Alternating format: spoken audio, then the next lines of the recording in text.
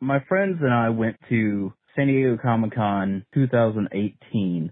Well, we were touring around the venue looking at the different vendors and whatnot. I had to stop by the Hasbro booth. As I was looking, it was the same year that Bumblebee was coming out. Well, while I was sitting there, I was taking pictures of this giant Bumblebee statue they had when someone in a Bumblebee costume came up next to me and started talking to me. I started talking to them, commenting how great their suit looked we were talking about, you know, I was a huge Transformers fan. I'm excited for the movie. Um, definitely can't wait to see it. And just kind of shooting, shooting back and forth.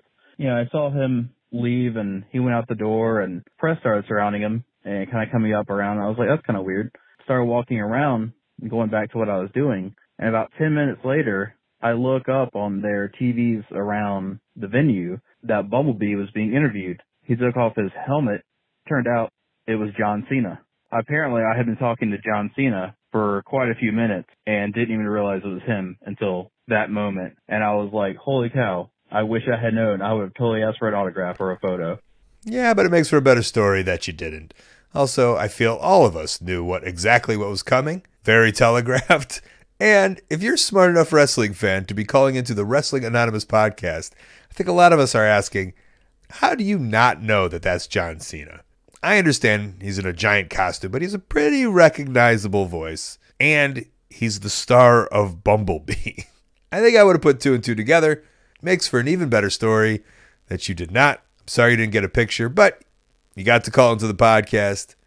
And you got to have a really good heart to heart conversation with our boy, the Bumblebee man, John Cena. I never saw that movie. Should I have? Leave your comment below.